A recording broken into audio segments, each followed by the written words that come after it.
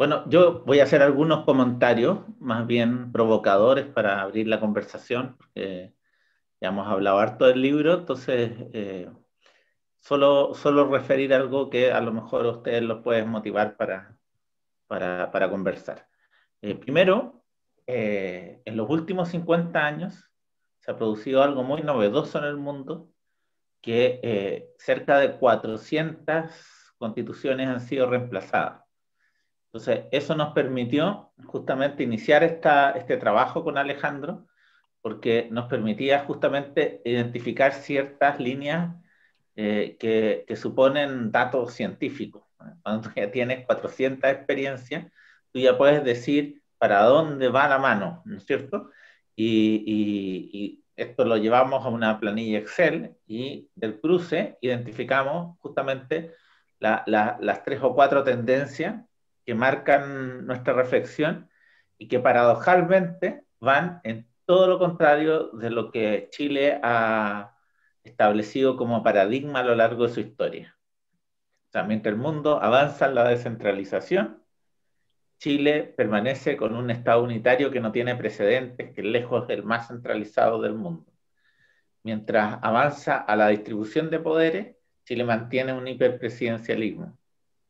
Y mientras eh, avanza el mundo a, entender que el reconocimiento constitucional de derechos genera una estabilidad social y política y que básicamente esos derechos suponen algún esfuerzo del Estado vinculado a la priorización que hacen los ciudadanos sobre el valor que le otorgan a algunos de los derechos que son consagrados en la Constitución, Chile eh, permanece con un catálogo bastante exiguo de derechos y más encima se los entrega a los privados.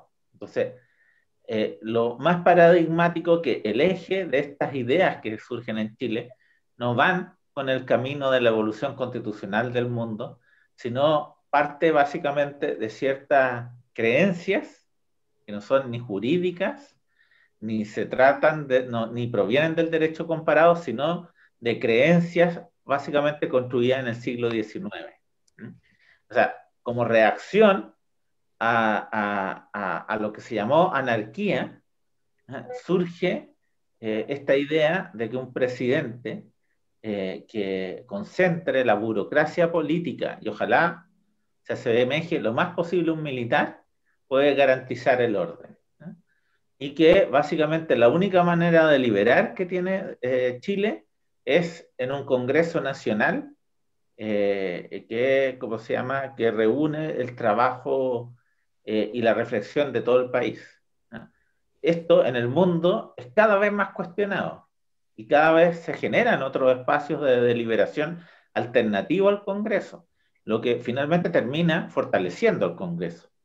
Pero nosotros hemos apostado a ese modelo que nos trajo ciertos frutos importantes a lo largo de nuestra historia. De hecho, los países de América Latina fueron los primeros que renovamos toda nuestra legislación y salimos del paradigma hispano eh, y, de y de la legislación eh, eh, de la monarquía española. y a lo mejor eso gatilló a que finalmente los partidos políticos concentraran el poder en el Congreso. Pero el mundo ha ido hacia otra parte. Y esto también eh, se vincula a cómo entendemos el poder y cómo entendemos los derechos. Entonces, el poder avanzar hacia una nueva constitución supone hacer un diagnóstico de lo que ha sido el Estado unitario, lo que ha sido el presidencialismo y lo que ha sido nuestro catálogo de derechos. Eh, y eso yo creo que eh, básicamente el debate se orienta al reemplazo y no a la evaluación. Y es, complicado, porque solo un ejemplo y con esto termino. Eh, yo estudié en Barcelona. En Barcelona están obsesionados con la forma de Estado y quieren claramente tener autonomía y tienen un piso entero de la biblioteca dedicado exclusivamente a, los temas de forma de Estado, ¿eh? en los cuales uno se encuentra con mucha literatura de Estados federales, con mucha literatura de eh, descentralización y de Estados regionales, pero habían como dos libros sobre Estado unitario. Entonces, uno quiere recurrir a la experiencia y sobre estados unitarios se ha escrito muy poco. A mí me tocó justamente participar de un tribunal que comparaba Francia con Chile, que son los dos estados unitarios más antiguos.